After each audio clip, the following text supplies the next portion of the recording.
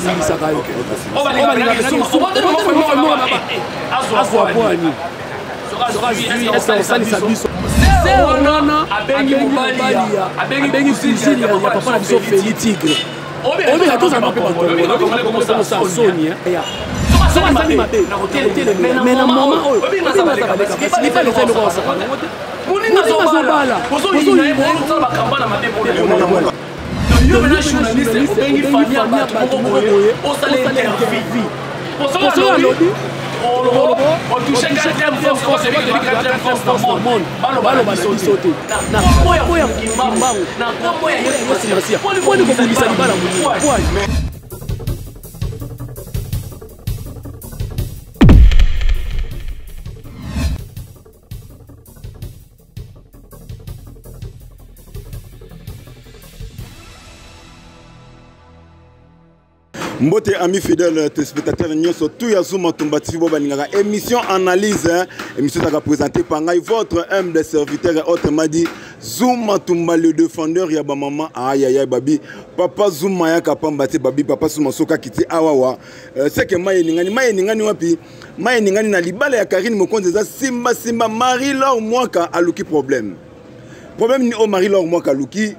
ake kobenga cousine na biso ya papa na biso feli tigre euh, oyo bamesana kobenga ye bongo eluki mwa baproblème eluki baproblème pourquoi marie lor asala yango euh, deuxième point na biso tolobela susu affaire ya rafine ntumba rafine tumba asala video moko oyo esepelisa bato nyonso te oyo bino nyonso bomonamona yango rafine tumba atusha mama Maman Ami, euh, maman ya Kofi Olomide, que son âme repose en paix. Merci aussi na Kofi Olomide, j'espère que oui. Bon, mon aki matanga ya Kofi Olomide ndenge leka ki toko meka ko solo lelo analyse hein. Babi makamususu oyo ya eroya euh, toko lobela on kaka wa babi euh, internet c'est comme lengi Zuma tumba le défendeur ya ba maman bakisanga susu euh, papa na Moïse tumba far DC de la presse hein. euh, babi biso to ya kapamba biso so to yeboye c'est que bouger merci na babonné na ngani surtout merci na ba fidèle ya papa Zuma oyo bakewi papa zuma euh, yo so tomona yo te tozalaka bien te ah tosala déjà kombo tokoma lokola mbongo dollar donc ata namonani te meso namonani kaka boyebi deke oyo eza nango dollar donc biso deya totikela tikela bana wana mike mike balekalekana bango na tv bafinga karine mokonzi mais biso lokola toza baaigle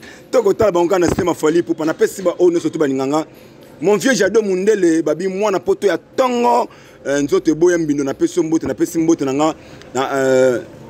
blanchard mabela blanchard mabela moninga bato ya monvie jado mondele napesi mbote na mama na mama elodi la maintenance babisikani nalataka napesi mbote na baoyo balinganga na baoyo balinganga te Euh, so bomoni bilili wana bopesa mbote na mwana mboka géri cobetox ya babi lelo bomona ye kote kamera kote su na plateau eloko nini yango elekani wana wana eza mayele na biso ya sika tobombi yango Jerry Kobetos, pesa biso non transition et tozonga na plateau. Play.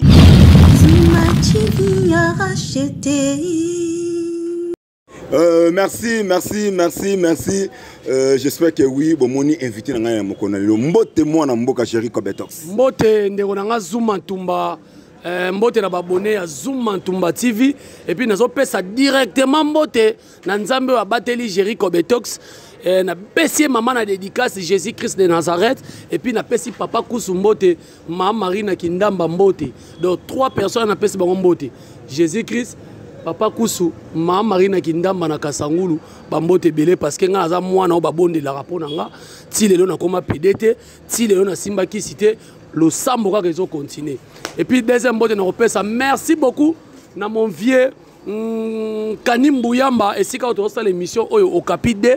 aye bon arrivé donc, donc namona vie elobi fraîcheur awuti nord donc euh, merci beaucoup ye moto apesaka siège ya répétition et puis mbote na bachinois mbote na bamama autorité mbote na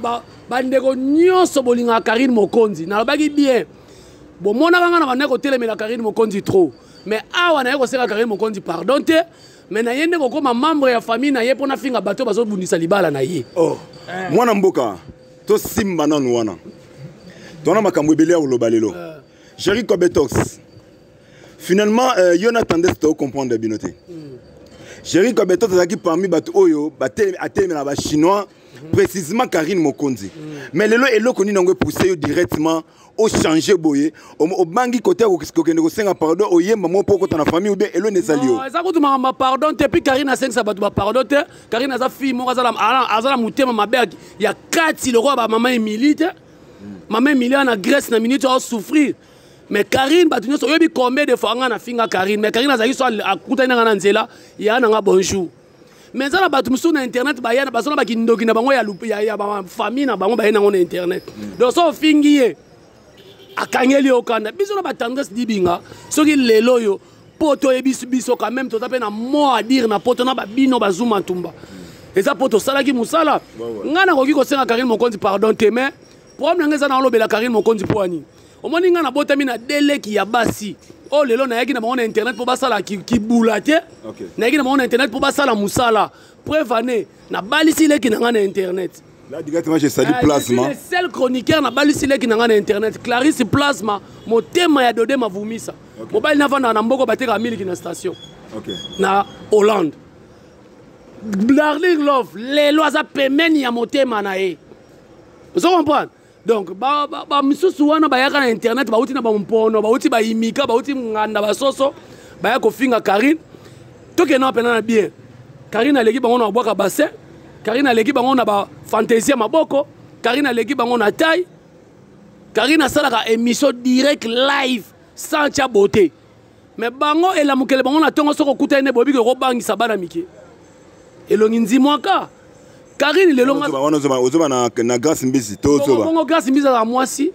moto aza monoko tia onde ekaleso ezangi elastike ah, ba grace mbisi kokontake kutu te wana basi baboma ya lala siti nese kufa bato baboma siti na ye toza ne pembeni awa grand prêtre mike lokamba hmm. toza ne pembeni awa ah, cheye bato baboma siti na ye glodi de suka na tresi mbelenga pro baa na poto ye alala elakisaki azalaka congolaise na biso te azalaka congolaise ya brazzaville akotamaka na so ya loyenge karine mokonzi autorité morale mama koka kola ndenge nalobaka boye ngai nakomi ya na ye ya famille fille moko avantiere afingi fe regola hmm. otalaka émission na ngai te nasalaki eh, balobaka o ngai naza moto afali pupa te mais nafingaki motu lobi mpo afingi fe regola mida la taylor ngai atanga nkombo mm. mida la taylor abima na mobali abima mobali moko na mama na ye aza na bilakeli mabe olobi nini mida la taylor abima na mobali moko na mama na ye ok merci donc mwana mwasi wana afinga fere egola oyo akokani ata na mwana ata ya suka ya fere egola ata akokani ata na fere egola te puis fere egola alota ye ata te asenga fere gola butu moko fere gola boya na ye ekoma problème oh. bana basi baye na internet mosala moko akosenga ba mibali babutu tonto s'il te plaît est ce que kopesanga butu moko na okagu na yo est ce que eza normal bamidala tailor donc ngai soko ofingi mutu soko obundisi mutu na ye donc banda lelo ti mokolo libala karine koleka na longwe nde yaya soko asali mabe nakotelemela ye mai na moment oyo oyebi ngai aza baleka basi libala eza eloko akosakana yango te moninga azobala bozoyina ye bosala bacampagne na mabe mpo na ye mwana mboka euh, tomoni ndeko na biso ya mwasi oyo akei kobenga euh, cousineokile euh, sheki wanakola internet wana abengi abengi cousine ya, ya nani ya mobali ya karine mokonzi pourkui voilà ser wana abengi mobali ya abengi cousine ya, ya papa na biso feli tigre oyebi tozala no mpe bakongole oyebi ke bakongole komosala soni eh? donc yo mpena journaliste obengi famille ya bato moko boye osala intervie mpo soki alobi olobo botouche 4ème force lokola toyebi ke toza 4ème force na monde baloba na biso te est ce que papa zuma mpena zuma ndenge oza yo kobenga mpena ngai na obala oki obengi na leti na famille atanti na biso oke bopesa mwana bino mpa géri te est ce que eza important mpena asalaki yango pourkui baza na baproblème na karine mokonzi oube baza na baza eh, nini asali yango d'abord so aza femme sans care ya mibale aza moto na soloka ya misato avanda na canada ti lelo azalaka na mwasi te nazalaka na mobali te omoni basi oyo babota te abaka trop na bakandakanda basi oyo babota te neti bamarie lor mwaka abota te epuis lelo bato bakama nde nalobi na ye omoni ngai nakumisaka marie lor mwaka aleki ser wana canada wana elongi lokwa nyao bamakiye wana azofingafinga ngai na internet mm. aleki ye na succès marie lor mwaka eloko nini estre vraiment moto abengi wana aza cousine ya, ya papa tigre voilà. ou bien aza, aza ndeko na ye te voilà, alezi comprendre mpe na famille mm. meme zuma ndenge oza na famille na bino oza na bato babundisaka yo okay, oyo oh, balingaka mpenaka ezuma bobotani bango famille moko maba e eh, azwa mpo ya nini soki azwi estce akosalisa biso eza ndemo mpe na pafeli na famille ne mpe akozala bato bazobundisa ye ngai mpe nakozala bafamille babundisa ngai sere na biso mpe ndenge avandi aza bafamille babundise tatu wewa mpe ndenge aza wana eh, mese sakul aza mpe na famille ne bato babundisaki donc sere wana omoni aleki wana alobi aza ndeko ya feli aza ndeko ya feli boye te papa na mama boye te loboko ya wazekwa loboko ya ça veut dire quoi mwana tata kulutu ya mama leki ya papa mwasi ya nananananananananana tala niveau ya famille donc bandi donc famille moko ya molai donc ye sikoyo ake kobima kuna ata alobi bongo le 24 oyo je meme ame akupe epuis nabakisi motu karine mokonzi akosala mariage na nkombo ya mfumu kimbangu na nkombo ya yesu masiya mponi kobundisa libala moninga mpwani mais rimer epanzani partout rimer epanzani partout que oui euh, libala karine mokonzi epanzani tomoni mpe kuna susu grace mbizi a réagir ke ye mpe areporte lisusu mariage na mais au juste bato bazolinga bayeba qu'est ce qui se passe au juste eza libala karine mokonzi nde eza ya kopanzana oyo mpe eza libala grace mbizi mpo toyamba ye tendresse awawa tantasi dibinga alobi bango babunaki yango ezalaki base mais eza susu base te bakomomona yango réalité lokola grace mbisi azalaka nde madiembela adiembeli ah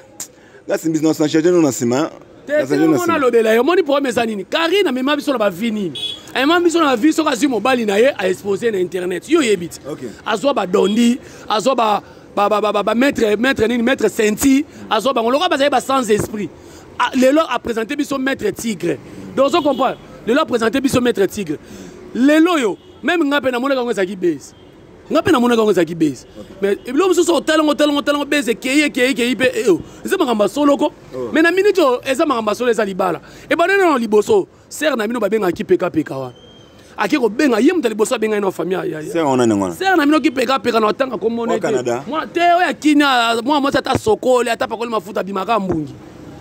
omoneka poussière apersa alandaka karine mingi moni ntango karine apersaka ye mpe apersaka alandaka alandaka ye mingi boye donc ozo comprendre donc sere wana abenga kombo soki eye eh. ah, wana yo nde moto okotanga eh. ngai nalobi boye sere wana abenga famille belle famille ya, ya karine mokonzi oke kodiabolise totika biloko oyebi lelo ngai nakomi okamwisa ngai oyike ti sikoyo naosambela nzambe epuis kosambela naosambela motakala omoni nde piro nomba sabali hmm. video ebima te video ebima te na nkombo na yesu video ebima te petit siko ebimi te bazangi makambo oloba eluki deya baproblème na poto ekaboli bafia teyata na baseka potoekabola nango nzambe asala kozala na kozala te bamosuku basali bavideo ya bapardon bamosuku basali bavideo ya kosenga bapardon ka likolo bamakambo eza problème te yango tolobi ba bayo baseki pardon nakoloba makambo na bango te mpo balobi yo bazokende ofunda bato ndenge bango bafundaki bango nakoloba makambo na bango te me ndenge nalobaka aboye ser wana abenga nanu famille ya, fe, ya papa na biso feli mpo aloba buzoba mais abosani ke maître feli ntango azalaka na kin aobenga ye ye azobake ngai na star aopese mbote aondime mbote moko ya mokie anao néglige omeke mwa mobali banégligeake te lelo akenda poto akoma koluka yo asolola na ye asala boye asala boye epuis akoma obala moto oyo bozalaka ne guerre esopi yo sintia kapasha soki obanga otanga komoni ngai te nkomoni sintia kapasha ah, napesi mbote natangi komona ye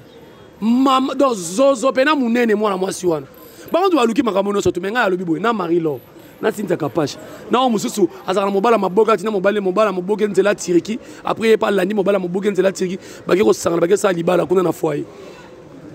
rafi ntumba bango nyonso tobaka bazozo eh, tokolobela makambo ya rafi ntumba mais en tout cas marie lor mwaka oyika bato ebele badesabone na, na page na yo bato ebele bayini yo na likambo osali babundisaka libala ya muntu te karine aza na mabe na ye mpo bino boolobo e eh, hey, makambo asala kala yango ani ekoma ozongela ye bolakisaka karine motu nini batya na libulu bakunda ye na serke o oh, karine aboma boyebisanga te ta tokende epai tozonga epai bike karine ariska bamataka bamari misamwa ariska mwa mwasi anayebi internet ozo comprendre elobi fela soko azeka soko ozopoza kotikala kaka opposant te eh. soko comprendre mpe bafaire comprendre ngai na olobela karina mai lobi so bomoni ngai karina gafele motu ata so afingi musicien ngai na oya eh, mais siko tolobela nao libala karine marie lor mwaka esopi yo nao mosusu oyo tato ya mokolo oyo asila soni papa mokolo oyo osalaki pede naki mokolo zoro mabiala yo pena zoro mabiala pena yo yo kasi siso abundisi karine esa karini zoro mabiala papa moko aza na poto so otali pone ondiye bapakolaki engola onye na poto azanga mafutaetandasi abetaka ye kota bandala wana kasi ye wana azwa foto ya maba bamba mpo na linda o oh, linda vimbe elongi papi kakola abeti ye kasi ye moto abanda makambo wana est ce que ayebi ke ngai na ofingi na fundi na gouvernement ye moto abimisa poupe moko bebima lokola papa etienne tisekedi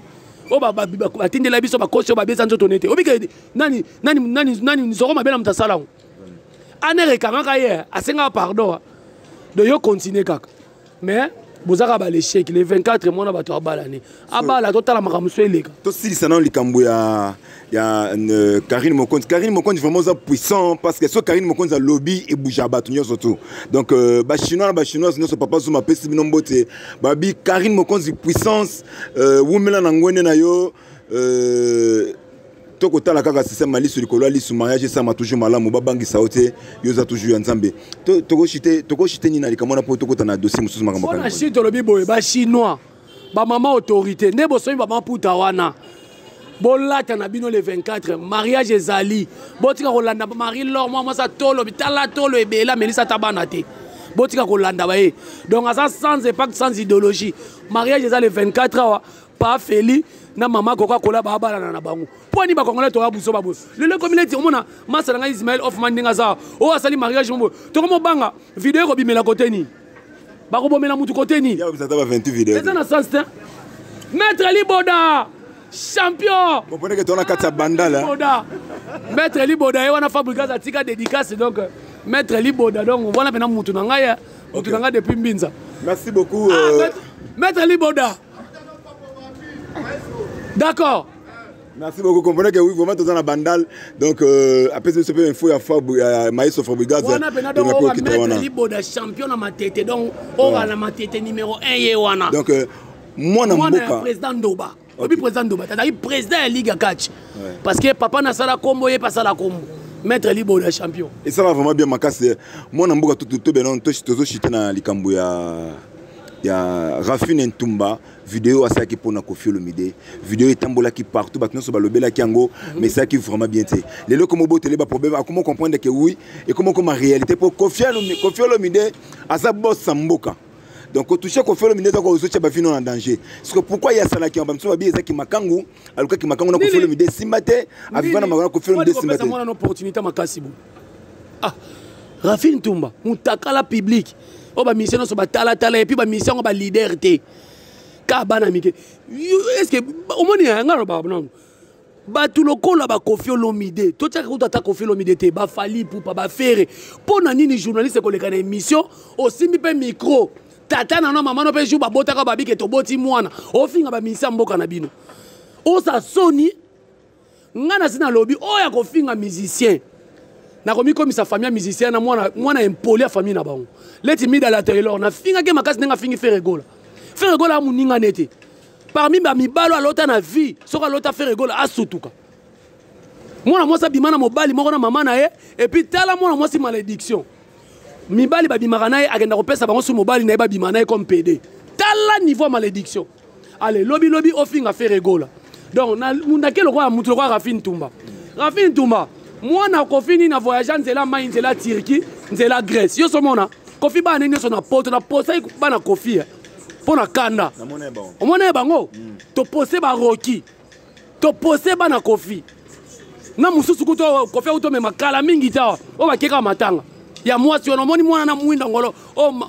la mama abi e eh, kofi pardon obotaka noka koka moto akobota sikoyo barafi ntuma bareva na vine abota ata mwana mona kofi me simba te mpo atikala kaka na nkombo ya kofi oza nano na foyer na poto obike congolais mpe congolais mpe buzoba eleki ye ana mokanda tabi azotanga ezela nanu oza na foyer na poto olokota eta ya mabondeli ngai nayebike moto aza na poto no azwi mokanda te akota eta ya mabondeli mais yo obandi kosala badirect mpo ofinga bato est ce que nzambe akosepela nao epuis ozofinga mamami mamowei nga na oloba te mama otali video ya mama moko alakeli ye mabe eh, bamama basiliki na nango awa mama moko alakeli mabe mpe mama ngo alakeli mabe na moma nini nasokoli monoko te nasokoli nzoto te na kati ya chambre na bilamba ya kopanzana alobi rafi ntuma ozwi malédiction génération en génération omoni kaloki na bana na ye na bana ya bana na ye na bakoko ya bana na ye donc baza bana moko boye bakanga bango bakindoki na bomwana toya tosangana na bango na internet sombalanga rafine awa na kinshasa obanda kokaba mambongo na plateau oyo nakabelo 200 nakabelo 300 mai mpo tokende nzela nini omoni ke ezalaka babese rafine asalisa anniversaire asala kuna ye abeta karine mokonzi na anniversaire kaka mpo azwa gaz zozo lokolo kilo ti ake poto azalaka na gaz te ake kodiembela yo mpe na rafine na bakini awa mpena Karine afinga ne batu tondimi. Mais Karine no finga na kin hein. Est-ce que yebi? Hmm. Eh Karine no finga na kin. Ne na esa bokechu. Ya ko loba makama Congo na kin. Na poto te.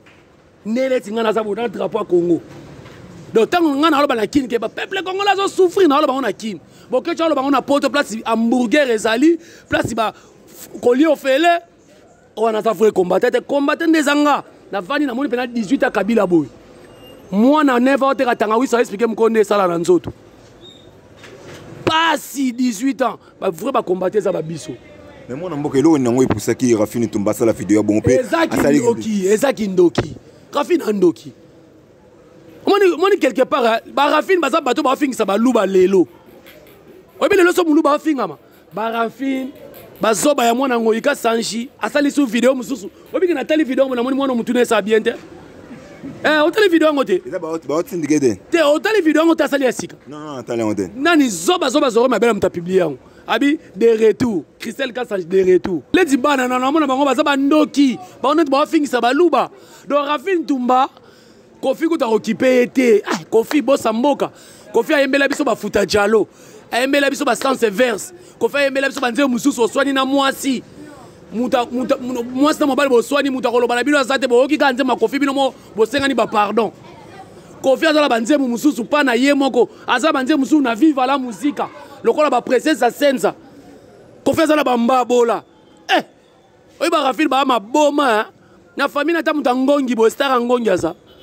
sia abike bolingaka ete mpo ya voyage avoyageona na kolinga avoyageaka wapi akenda nzela turki turki grèce après akoti belgique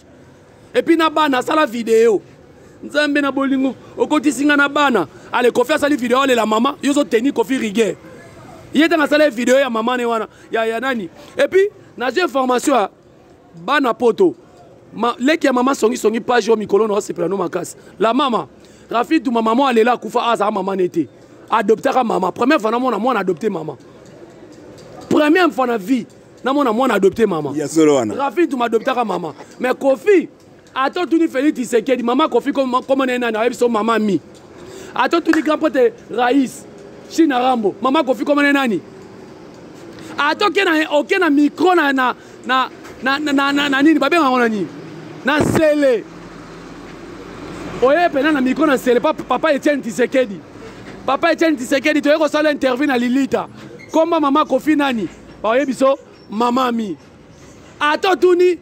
premier ministre ilunga ilukamba mama kofi kombo ne nani mama mi ebongo mama rafine kombo ne nani mama adopte vraiment tokomi na suka tokomi vraiment na suka émission na biso euh, émission analyse émission ezalaki présente mpa ngai votre humble serviteur et autre madi zuma tumba le défendeur ya bamama ayaya babi papa zuma biso toyaka pamba te biso so toyibo toyaka kosimba po toleka euh, message no ya suka oyo okoki kolobela nini na makambo rafine tumba mpe badedicace no na banimero ya telefone bango balingaka yo message na ngai ezali bacongolais tolingana nalataka drapeau oyo nalata yango te mpo na sentiment te soki karine azalaki burundaise to rwandaise to tanzanienne boye ngai bomonaka na plateau nalobi te lokola aza congolaise epuis aza mwana ya nani général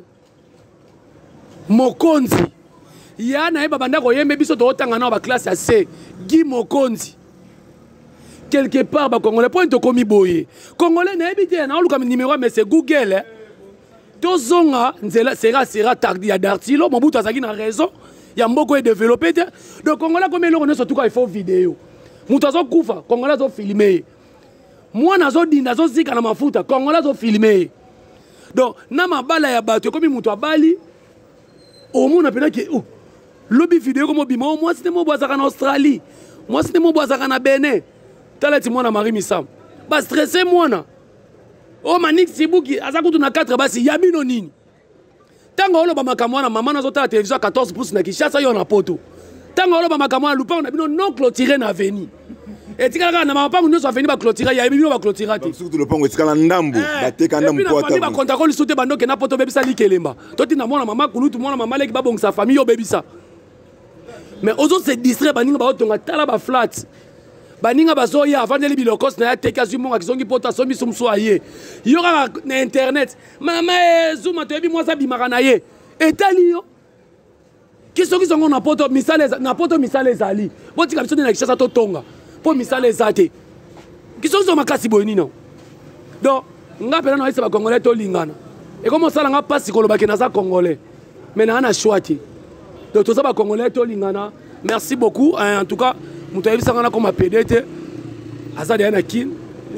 aza na kin nazobenga bino mpo nayebisaki ye ngai fo opesa ngai na video bato ebele basali babeza bamutuka nayebi te ero aza na sendwe aza wapi azoluka ponela nga epuis eza 10 ans anniversaire na nga na internet mokolo yango antuka donc fo na fete francis ci euh, muluba cher muluma wa mpolondo wa mankanda mashi wa mumeye nuku etukatu jimini donc bambote na yo ebele mama clarisse bachika de la part ya ismael hoffman epuis de la part na nga mamami mami ah mami non eza na bana basi bazalaka na motema sebisika ma clarisse nakoka te oh non papa ne me dit pas ça très sensible aloka mama olive na mama denise donc baza baza na motema kosalisa en tout cas faut to to encourageaka bato aimons aimons nous vivants donc euh, merci beaucoup na euh, 11 à mazembe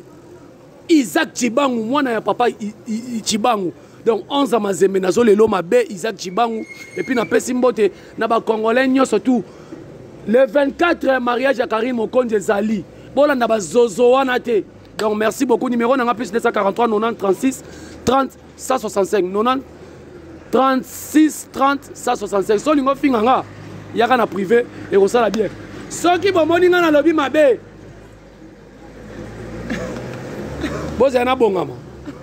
nayebi ke nalobi mabe makasi me bosiporte nga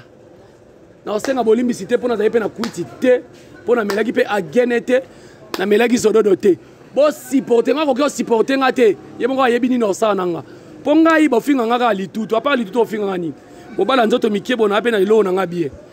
naoki ya mwasi alobi eloko mo wana eloko yo oloba olingi nini olingi nga na répondre yo tala mwana mwasi ya congolaise oyo akenda canada akenda kobala immigrant congolaise pene okebala portugais eh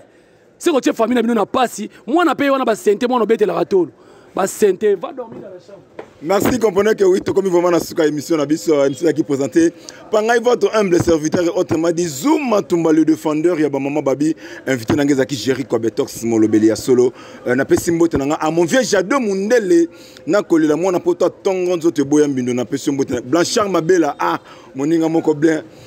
blanchard mabela napesi yo mpe mbote esika ozali bobosani nga kobiani nango blanchard mabela napesi mbote yanga mama elodie la maintenance eh. mama yoyo mama geneveve bosusu falanga autrement dit mama yoyo napesi yo mbote mare eh, bayoji yamba moto yango nakozwaka esika papa zuma na osala elo carton yoji yamba moto jerry cobetox hoffman boyeba ke carton ya yoji yamba moto ezoya mikolo ifo bana bochange nga kombo bana obenga nga papa yoyo donc euh, merci na babone na nga nyonso ntango botanga baémission oyo bobosana kotya bajeme te basuggestion mpe baremarke na bino esalaka biso bien mpo toza no bamateur to kokolisa mosala oka malembe malembe euh, napesi mbote na ngai na karine mokonzi la baronne euh, bachinois na bachinoise nyonso bokota nano nayoka bino nano bapesanga kaka somo bachinois bachinoise bokota nano yoka bino nano vraimen somo euh, merci na baboni na ngai nyonso tu ngai na bino tomonani mikolo oyo ezali koya soki nzambe alola azwi basufe de vite tokomonana bye bye Tu m'as dit,